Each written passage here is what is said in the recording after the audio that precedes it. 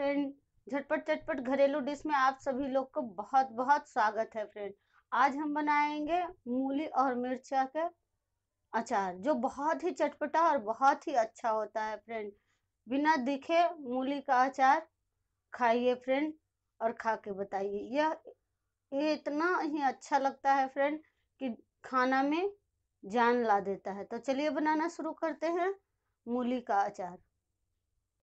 Friend ढाई सौ ग्राम हरी मिर्च। दो बड़ा चम्मच चाट मसाला फ्रेंड ले लीजिएगा। दो, दो बड़ा चम्मच हल्दी। एक बड़ा चम्मच अजवाइन और मंगरेला। नमक दो बड़ा चम्मच ले लीजिएगा फ्रेंड। नींबू दो और सरसों तेल फ्रेंड। तो चलिए अब हम बनाना शुरू करते हैं फ्रेंड और मूली को भी धो के अच्छे से काट के सुखा लीजिएगा फ्रेंड हमने मीडियम साइज़ दो मूली लिए हैं फ्रेंड तो मूली का चटनी अचार ये बहुत ही अच्छा लगता है फ्रेंड सबसे पहले फ्रेंड इसको मिक्सी के जार में लेके सबको पीस लेंगे मिर्चा के साथ, मूली और हरी मिर्च को।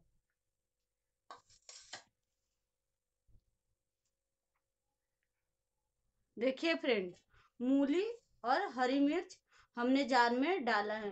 पूरा मूली ले लिया फ्रेंड और थोड़ा हरी मिर्च। थोड़ा थोड़ा करके हम इसको पीसेंगे फ्रेंड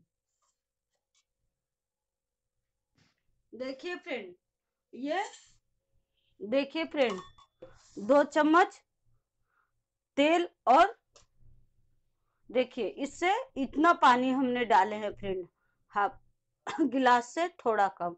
देखिए हमारा ये पेस्ट कितना अच्छा बन गया फ्रेंड इसी तरह हम सारे मिर्चा और मूली को पीस लेंगे फ्रेंड मिक्स करके। देखिए फ्रेंड मिर्चा, मूली हमने पीस लिए अब हम इसको मिक्स कर लेंगे फ्रेंड एक साथ। फिर से बता दे फ्रेंड दो चम्मच तेल और हमने डाले हैं फ्रेंड और इस पेस्ट को हमने अच्छे से पीस लिया। अगर एक दो मिर्चा का टुकड़ा रह भी जाता है फ्रेंड तो कोई बात नहीं।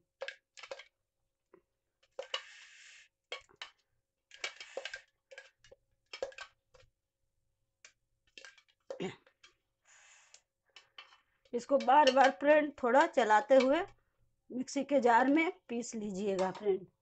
अब हम इसमें सारे मसाले मिलाते हैं फ्रेंड। ये देखिए फ्रेंड हल्दी पाउडर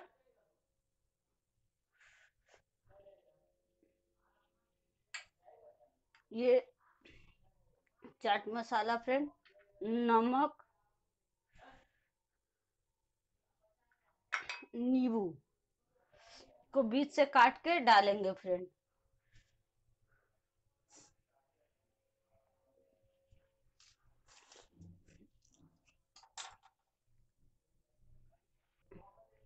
ये देखिए फ्रेंड इस तरह आप सीड को निकाल लीजिएगा, उसके बाद इसमें डालिएगा नींबू। अगर आप आमचूर पाउडर और डालना चाहते हैं फ्रेंड तो आमचूर पाउडर भी डाल लीजिए। नहीं तो अगर नींबू डालना चाहते हैं तो नींबू डाल लीजिए।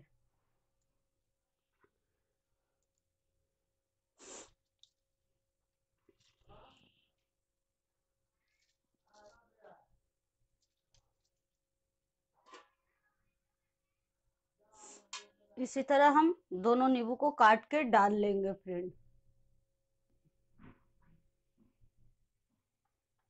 फ्रेंड इसमें अब हम चार से पाँच चम्मच तेल डाल लेंगे।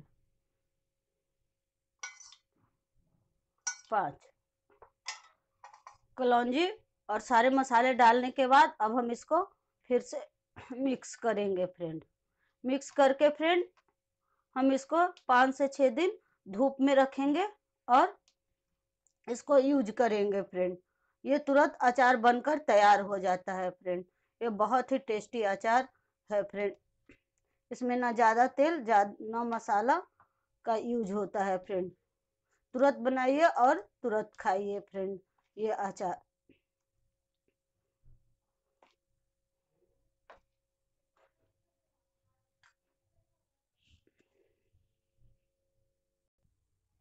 फ्रेंड ये रेसिपी अगर आपको अच्छा लगा तो लाइक कीजिए सब्सक्राइब कीजिए शेयर कीजिए बेल आइकन को प्रेस कीजिए और झटपट झटपट घरेलू डिश में अपना अनुभव ज़रूर लिखिए। फ्रेंड ज़्यादा से ज़्यादा शेयर कीजिए।